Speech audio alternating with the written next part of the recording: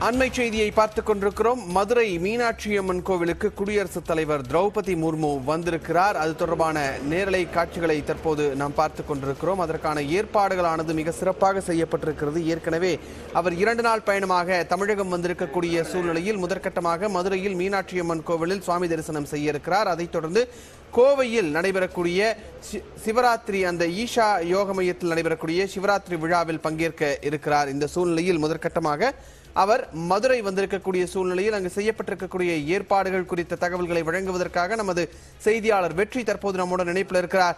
வெற்றி என்னென்ன விதமான ஏற்பாடுகள் செய்யப்பட்டிருக்கிறது? குடியரசுத் தலைவர் திரௌ- திரௌபதி முர்மு அங்கு மீனாட்சி அம்மன் கோவிலுக்கு வந்து விட்டாரா?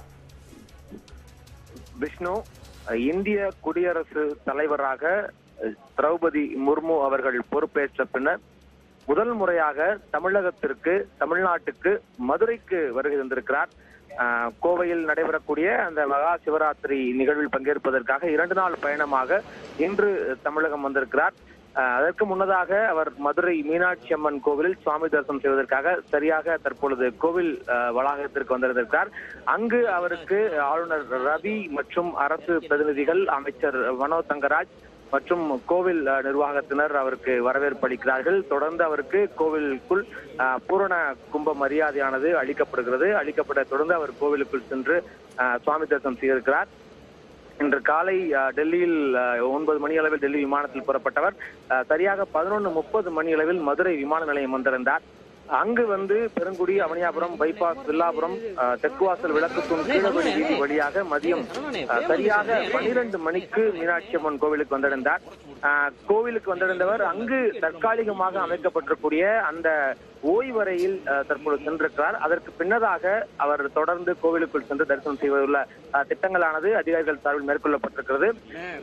கோவிலுக்குள் அவர் அம்மன் சுவாமி சன்னதிகளில் தரிசனம் செய்து தொடர்ந்து பொற்றாமரை குளம் உள்ளிட்ட இடங்களையும் பார்வையிடுகிறார். இருக்கிறார் அங்கு கோவில் நிர்வாகம் சார்பில் தரப்படக்கூடிய அந்த பிரசாதத்தையும் ஏற்கவிருக்கிறார். அஹ், தொடர் இதற்கு இதன் பின்னதாக சரியாக பன்னிரண்டு நாற்பத்தி ஐந்து மணிக்கு மேல் கோவிலிருந்து புறப்பட்டு ஒரு மணிக்கு அரசு விருந்தினர் மாளிகைக்கு மதுரையில் இருக்கக்கூடிய அரசு விருந்தினர் மாளிகைக்கு செல்கிறார். அங்கிருந்து மீண்டும் விமான நிலையம் வந்து சரியாக இரண்டு மணிக்கு மேல் கோவை செல்ல உள்ளார்.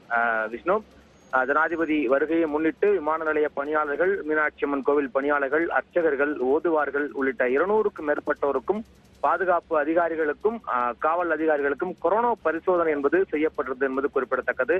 மீனாட்சி கோவில் வெளியே இருக்கக்கூடிய அஷ்டசக்தி மண்டபத்தை ஒட்டி அவருக்கு அமைக்கப்பட்டுள்ள தற்காலிக ஓய்வறையில் தற்பொழுது அவர் தங்கியிருக்கிறார். தொடர்ந்து இவருடைய வருகையை முன்னிட்டு கோவிலை சுற்றி இருக்கக்கூடிய சித்திரை விதி இருக்கக்கூடிய நடைபாதை கடைகளானது அகற்றப்பட்டிருக்கிறது. மேலும் விமான நிலையம் முதல் மீனாட்சி அம்மன் கோவில் வரையிலான பதினோரு கிலோமீட்டர் தொலைவிற்குள்ள சாலைகள் முழுவதும் சீரமைக்கப்பட்டு அந்த சாலைகளில் போக்குவரத்து மாற்றமானது இன்று நாள் முழுவதும் செய்யப்பட்டிருக்கிறது. அந்த வ- அந்த சாலைகளில் வாகனங்கள் நிறுத்துவதற்கு தடை விதிக்கப்பட்டிருக்கிறது. மேலும் இந்த பகுதியில் ட்ரோன் பாலில்லா விமானங்கள் ட்ரோன் பறப்- பறப்பதற்கான தடையானது விதிக்கப்பட்டிருக்கிறது. சிறப்பு பாதுகாப்பு அதிகாரி எஸ் பி சுவாமிநாதன் தலைமையில் இரண்டாயிரத்திற்கும் மேற்பட்ட போலீசார் பங்களிப்பில் பலத்த பாதுகாப்பு ஏற்பாடுகளானது மேற்கொள்ளப்பட்டிருக்கிறது விஷ்ணு. அஹ், தொடர்ந்து முதல் முறையாக இந்திய குடியரசு தலைவராக திரௌபதி முர்மு அவர்கள் பொறுப்பேற்ற பின்னர் முதல் முறையாக தமிழ்நாட்டுக்கு வந்திருக்கிறார்.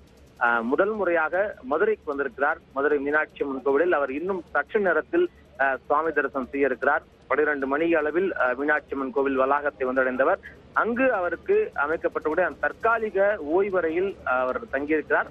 தொடர்ந்து பின்னதாக கோவில் சுவாமி தரிசனம் செய்வதற்கான நிகழ்வுகள் அடுத்தடுத்து நடைபெற இருக்கின்றன.